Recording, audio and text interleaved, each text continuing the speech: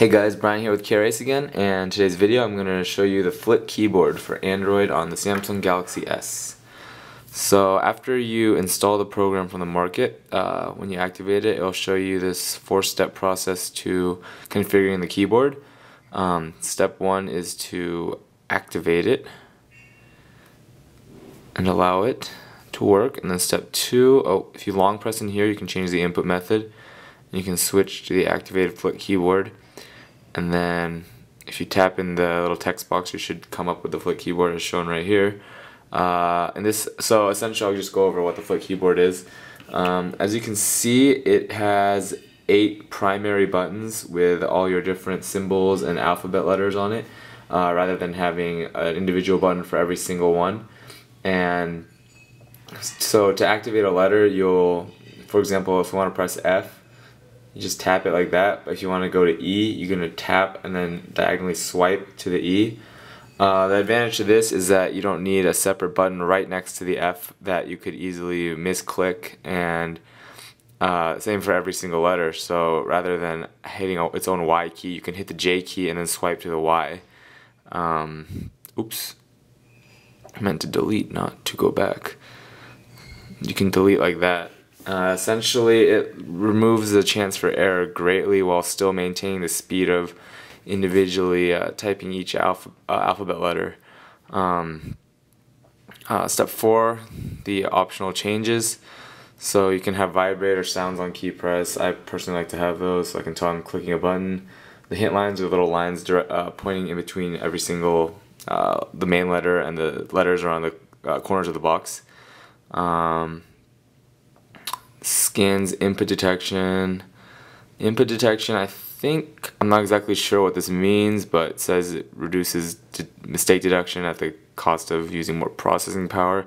If you buy the actual version, you can adjust the sensitivity as well as customize angles uh, on the lines between the letters. Uh, rest of the stuff is standard stuff. Uh, predictive text using your your dictionary or plug-in dictionary, auto caps, long press to delete words and basic about info. So I found that uh, it takes a little getting used to compared to uh, just your standard QWERTY style keyboards with a button for each letter. But once you get used to it, um, I'm thinking you could actually type pretty darn fast, if not equally as fast as uh, using that method, but just using one hand. And your error rate is greatly reduced because I mean, if you want to type in a letter, you don't have to aim that well. Look how big the square is. Uh, just type in an F, you could hit there or there. I mean, it's really hard to miss. Same with J or whatever. And even with the letters that are that aren't on the uh, that aren't the main letters, so on the side, like I said for T, I mean, look how big the space is. To hit T, you could start here, still go there, and get the letter T off.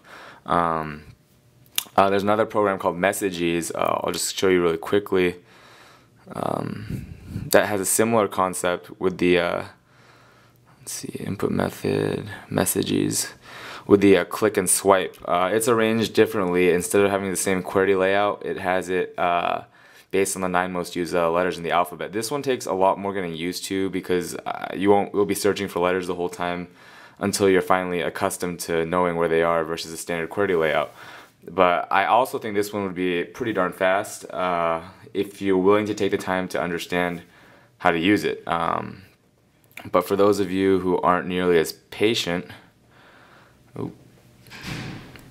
aren't nearly as patient, I would suggest just going with the uh, Flit keyboard. It's still in the QWERTY layout and it saves a lot of space as well because you have your symbols and numbers as well as all your uh, letters on one single keyboard. So you don't need to switch between keyboards.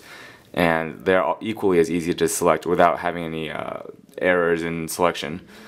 So uh, that's the review for the Flit keyboard. Um, you should go download it on Android Market and try it out. It doesn't take too long to get used to. It's the same QWERTY layout as the normal keyboards.